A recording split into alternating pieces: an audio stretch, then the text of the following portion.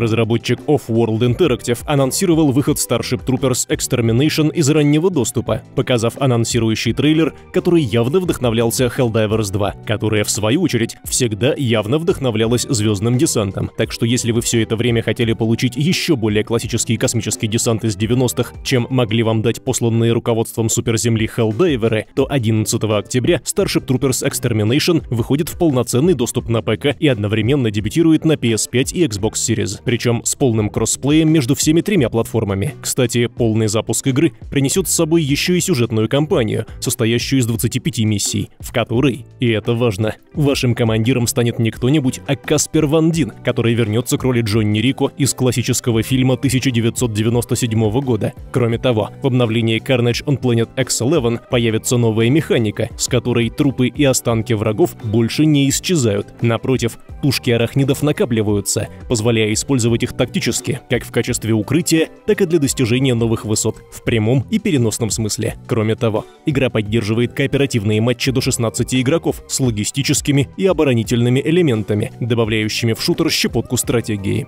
Всем привет, это GSTV. Сегодня четверг, 13 июня 2024 года. У микрофона Павел Сергазиев, и вы смотрите главные новости игр последних дней.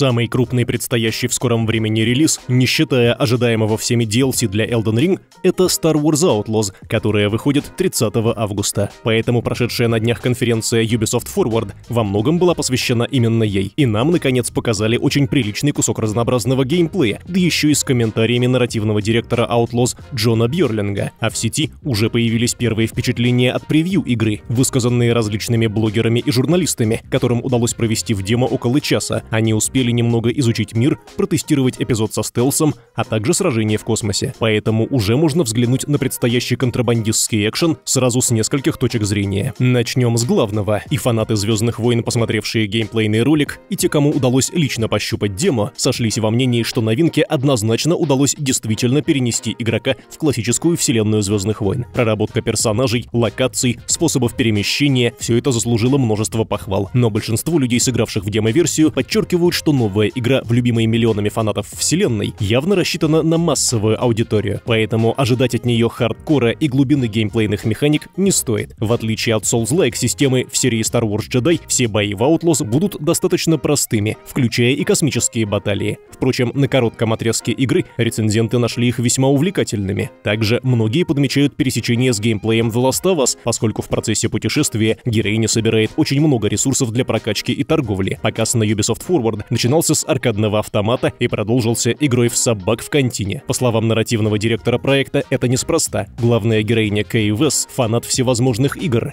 и потому в них можно будет играть в разных точках галактики, а также находить места, где можно делать ставки на гонки. Все эти мини-игры, кстати, получили самые позитивные оценки от игроков в демо. Тут обязательно стоит учитывать возможность мухляжа при игре в собак. Он доступен и Кей, и ее соперникам. Джон Бьюрлинг также рассказал в презентации, что Кей может общаться на нескольких языках, в том числе на языке хаттов, поэтому ей зачастую не нужны протокольные дроиды-переводчики. А у ее корабля, собранного в период войн клонов, есть своя загадочная история, которую нам хочется верить расскажет, что не может не радовать. У игры все вроде бы совсем неплохо с технической стороны. Как минимум представленная на выставке демо работала без каких-либо проблем и с хорошей производительностью. Отметим, что тестировали Star Wars Outlaws на ПК с RTX 4080 в 4К и 60 FPS с высокими настройками и включенным DLSS. Если у вас возникают сложности с покупкой игр из-за ограничений, с Keys for Gamers вы можете снова вдохнуть свободу.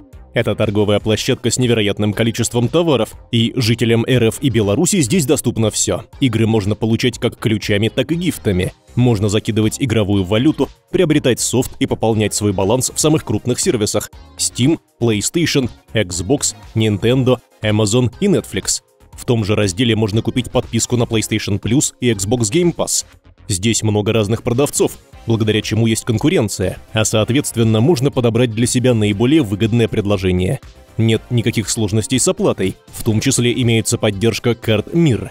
Наш промокод GSTV снизит стоимость совершенно любого товара на 20%. С ним вы добьетесь минимальных по рынку ценников. Плюс на Keys for Gamers вам никто не запрещает торговаться – Попробуйте написать продавцу в чат и попросить у него скидку. Мы уверены, что у вас получится сэкономить еще сверху 10-20%. Фраза «торговая площадка» здесь не пустой звук. Ссылка в описании. Компания Ubisoft показала еще больше геймплея для нынешней любимой цели хейтеров в сети. Речь, конечно, про Assassin's Creed Shadows, которая, несмотря на ворчание фанатов исторической точности, почти наверняка все равно сделает отличные продажи. Поэтому теперь, когда у нас есть большой 13-минутный геймплейный ролик, давайте обсудим, что же интересного нам показали и рассказали про игру. Помимо возможности встретить и погладить собаку породы Акита Ино, чего, безусловно, все ждали от Assassin's Creed в японском сеттинге, самое важное тут, что игроку можно выбирать, за какого какого героя он сейчас хочет проходить игру, причем переключаться между самураем и шиноби можно в любой момент. Главное быть вне боя и не находиться на вражеской территории. Более того, если в катсцене присутствуют оба главных героя, то можно выбрать, кто из них будет разговаривать с NPC. Кроме того, нам наглядно показали, как разительно отличаются друг от друга главные персонажи с точки зрения игрового процесса. Яске не очень быстро размахивает оружием и передвигается, зато он надежно защищен, силен и очень живуч. Но вообще на мобильном мобильность персонажа дополнительно влияет броня. Сняв ее, игроки ускорят атаки и повысят ловкость героя,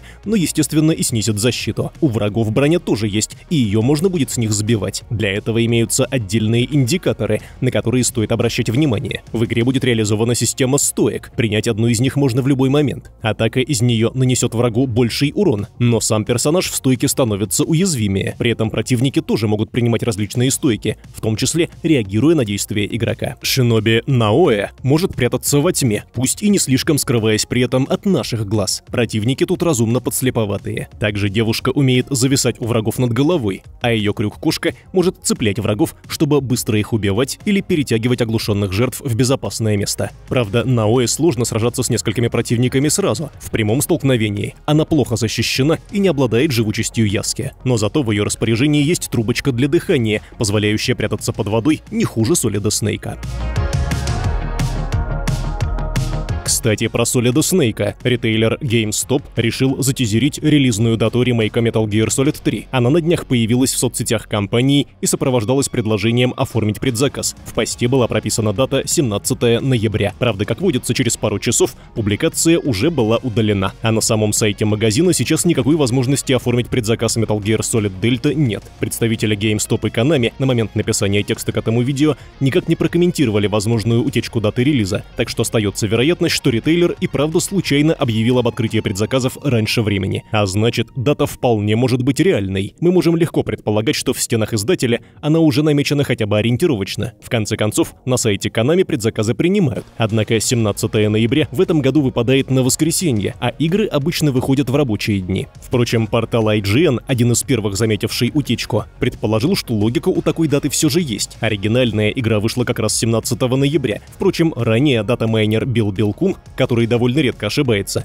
сообщал, что ремейк Snake Eater выйдет только в следующем году, и фанаты, ждущие игру, уже успели заметить, что в сообщении GameStop вообще-то не упоминался год выхода. Возможно, историю Снейка стоит ждать в ноябре 2025 года. Konami, пока суть до дела, успела показать новую коллекционку. В нее войдет диск и различные бонусы вроде ID-карты главного героя и небольшой террариум, в котором находится сам Naked Snake. Но, несмотря на значение дословного перевода его имени, фигурка героя будет представлена сделаны все-таки в одежде. Канами обещают, что террариум можно будет дорабатывать под свои нужды, так как все предметы внутри легко снимаются. Правда, реальную змею туда поселить вряд ли получится.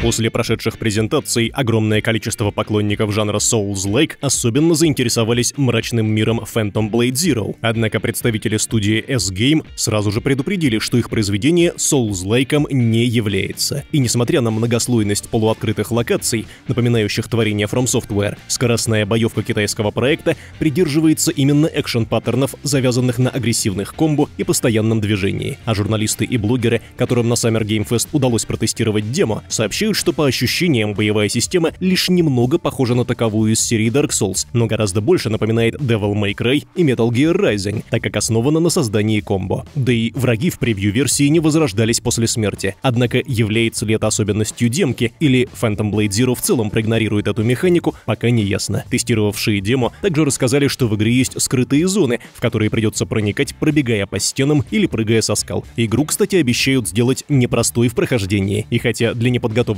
игроков на стенде Summer Game Fest сложность демки специально понизили, авторы все равно остались довольны тем, как им удалось помучить первых геймеров. Для Diablo 4 вышел патч 1.4.2, добавивший персонажам питомцев. И это не просто спутники главного героя. У них есть специальное умение собирать ресурсы или подбирать выпавшие из монстров предметы, чтобы игроку не приходилось на это отвлекаться. Чтобы получить такого питомца, игрокам потребуется пройти специальное задание. Скорее всего, пушистых друзей ввели в Diablo 4 именно сейчас, чтобы добавить их в комплект к дополнению Vessel of Hatred. В зависимости от купленного издания, владельцы DLC могут получить одного из трех питомцев – снежного леопарда, собаку и тигрицу с приятным уху именем Наталья. Tripwire Interactive на PC Gaming Show презентовала Killing Floor 3. Игра выйдет в начале 2025 года. Те, кто знаком с франшизой, уже догадываются, что нас ждут орды зомби, стремящихся разорвать игроков на части. Кроме того, нам показали Блота, очередного кошмарного Зеда, который может раздуваться, становясь сильнее, а также изрыгать на людей что-то вроде кислотного раствора. События Killing Floor 3 разворачиваются в будущем примерно через 70 лет после событий второй части. По сюжету, повстанцы из группы Nightfall пытаются уничтожить мегакорпорацию корпорацию Хорзайн, создавшую орду роботизированных чудовищ. Геймплейно Killing Floor 3 — это все еще шутер от первого лица, в котором нужно побеждать волны врагов и зарабатывать ресурсы. Последние нужны, чтобы покупать оружие, открывать умения и еще эффективнее побеждать волны врагов. Основным блюдом предлагается кооперативный режим до пяти человек в команде. В коротком интервью разработчики рассказали о некоторых изменениях и улучшениях в продолжении. Теперь врагов на картах будет больше, и сражения с ними станут сложнее, так как чудовища научатся новым способом способом передвижения, вроде ползания по стенам. Зато игроки смогут отстреливать задом конечности. При этом следы от пуль останутся на цели, а плоть будет реалистично обугливаться. Однако кое-кто из противников сможет продолжать бой и после серии попаданий, так что вам нужно будет отыскивать их слабые места и бить по ним изо всех сил. Волшебная Avowed, спин дилогии Pillars of Eternity от авторов Fallout New Vegas, получила сюжетный трейлер на шоу Xbox Games Showcase, а после студия Obsidian также поделилась свежей демонстрацией игрового процесса и небольшим интервью с разработчиками. В нем гейм-директор Кэрри Патель, помимо всего прочего, подтвердила, что в Avowed все-таки запланирован опциональный вид от третьего лица. Напомним, что это не просто магический шутер, а полноценная ролевая игра от метров жанра. В ней будут деревья навыков, выбор диалогов и компаньоны, стороны. Сюжет будет вращаться вокруг борьбы за власть в магических землях, где главный герой пытается положить конец загадочной болезни, которая превращает их в пустоши. Также здесь будут представлены типичные для Obsidian фракции, как это было и в Fallout New Vegas, и в The Outer Worlds. Это значит, что именно от решений протагониста будет зависеть и то, кто в итоге победит, а кто проиграет, и то, как именно это произойдет, поскольку у разных фракций, конечно же, будут свои идеи о том, как правильно лечить местную чуму и стоит ли это вообще делать. В кусочке геймплея, который показал сказала Патель, был представлен регион Emerald Stair. Судя по всему, игрок попадает туда довольно рано. На этой изумрудной лестнице располагается анклав анимансеров, которые занимаются изучением сущности душ. Одна из анимансеров, Яцли, станет нашим компаньоном. Также нам показали лагерь отряда, своеобразный хаб, где можно взять передышку, пообщаться с напарниками и обновить снаряжение. А вот улучшениями навыков и способностей можно будет заниматься не только там, а вообще в любой момент игры. Разработчики отметили, что хотели дать игроку как можно больше разных возможностей для создания вариативности в сражениях и исследовании. Главный герой Вауд богоподобный, и это отражается на его внешности, а опциональный вид от третьего лица как раз успешно показывает выбранный стиль протагониста. Ну и разнообразную косметику тоже. Причем обещается, что окружающие персонажи будут на внешность героя как-то реагировать. Забавно, но ни в одном из видео дату выхода Avowed опять не назвали. Зато через несколько часов после презентации Xbox на сайте Obsidian обнаружилась фраза «Если ничего не изменится, то Avowed выпустят 12 ноября 2024 года. Однако через пару часов точную дату заменили на просто 2024 год. Но фанатов так просто не проведешь, они теперь уже настроились на Avowed в ноябре.